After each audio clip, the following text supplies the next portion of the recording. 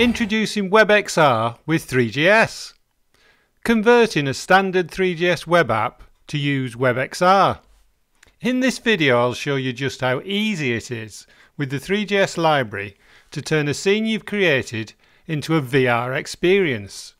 It really is just a couple of lines of code and your beautiful three.js scene becomes an immersive experience in stereo 3D if you're viewing it on a headset for this simple example, we won't be making anything interactive, so we won't be worrying about controllers, but it will work perfectly on a desktop if you have the WebXR emulator installed.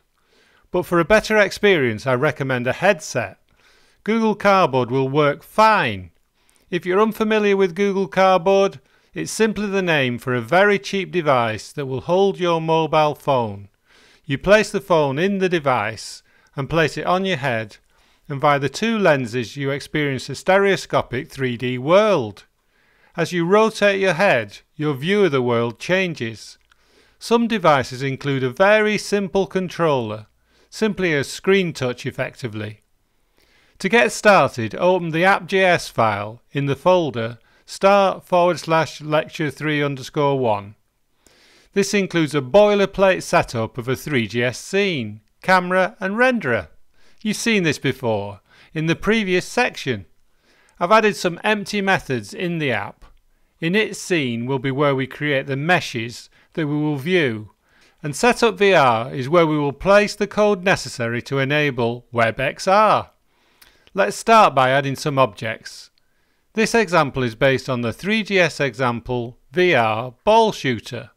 I've deliberately removed the motion and interactivity to make it as simple as possible so you can focus exclusively on the steps you need to take to enable a VR experience.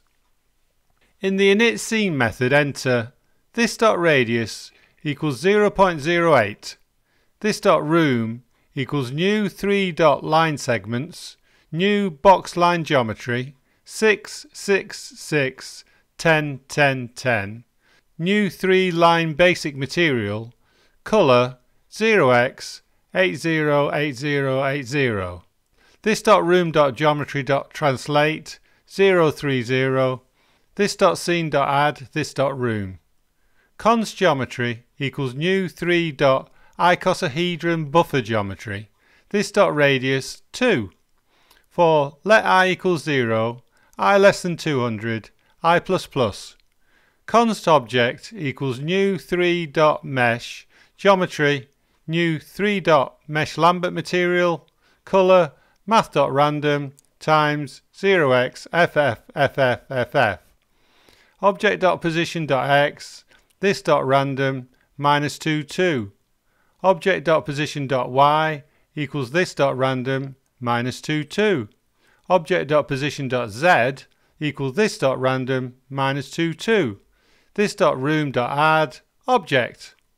Here we create a lined box that is 6 units wide, high and deep, and width, height and depth are divided into 10 segments.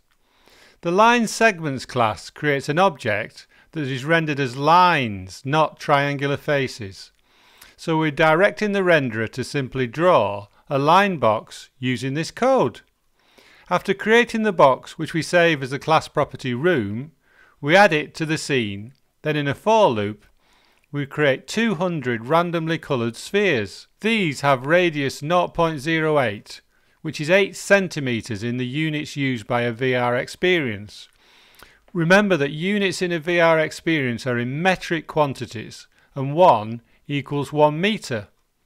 Because a user can move around in VR, the units are very important. If you run the app now, you will see the scene set up, but no option to enter a VR session. To do this, we will use the three.js class VR button, which is added to the inputs for this example. Slide down to the setup VR method and enter this.renderer.xr.enabled equals true. Document.body.appendChild VR button.create button this.renderer. How amazingly simple is that? Quite a bit happens behind the scenes when you click the VR button and later in the course you'll be introduced to just what is needed to enter an immersive session. For now, if you have a suitable device, get your headset on to experience entering the VR world you've just created. It is essential to have a user event to enable WebXR, so there's no option to having a button on screen. But you may want to have your own style of button.